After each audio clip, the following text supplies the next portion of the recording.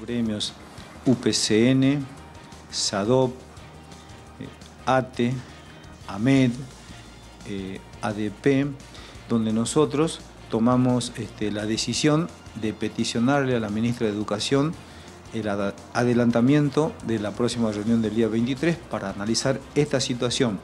Así también nosotros rechazamos el decreto 974 del gobierno de la provincia que otorga un 3,5 del 7% que correspondía para el mes de agosto, que lo adelantarían para el mes de julio, quedando el 4% restante para agosto, por cuanto debemos analizar detenida y, digamos, detalladamente esta situación, que, este, eh, que es lo que intranquiliza a la familia docente.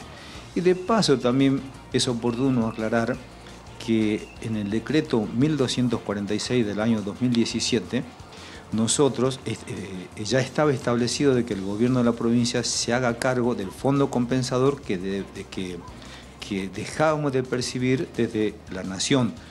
Esta situación se llevó a cabo hasta el mes de febrero del año 2019.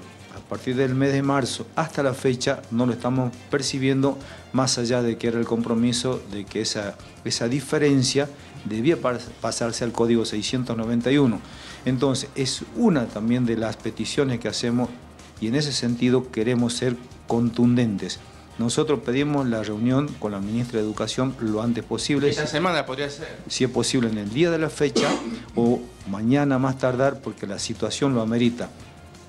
Donde reitero, rechazamos el decreto 974 queremos hablar sobre el fondo compensador, digamos que no está cumpliendo la provincia de Salta y los otros reclamos que ya venimos diciendo, en principios a partir de estos momentos estamos alerta ante la convocatoria de la ministra que debe ser inminente para que analicemos juntamente a los demás gremios esta situación que es de mucha preocupación para la sociedad salteña, puesto de que los niños, los jóvenes que deben asistir a los niveles primarios, secundarios, están en la incertidumbre.